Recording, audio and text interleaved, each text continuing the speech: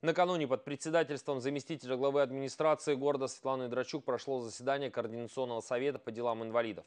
В повестке дня значилось 10 вопросов. Среди них реализация мероприятий под программы «Доступная среда» и повышение показателей доступности для инвалидов объектов торговли и общепита, сферы услуг и жилых помещений. Забота о людях с ограниченными возможностями здоровья – это приоритетное направление работы социальной сферы города Семилиственниц.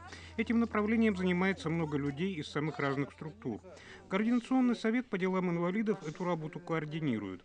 И под создание безбарьерной среды для инвалида выделяются довольно значительные средства, что следует из доклада начальника управления по труду и социальной защите населения.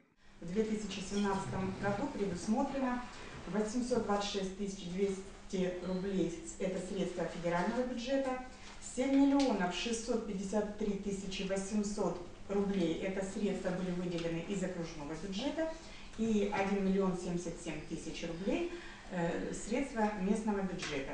Всего на данное мероприятие было выделено 9 миллионов 557 тысяч рублей. Все эти средства были распределены между управлениями образования и культуры, Центром материально-технического обеспечения и Центром обеспечения деятельности системы градостроительства. Руководители этих структур отчитались в их использовании. Средства освоены практически в полном объеме. Вот уже сейчас э, мы тоже можем говорить о стопроцентном освоении средств.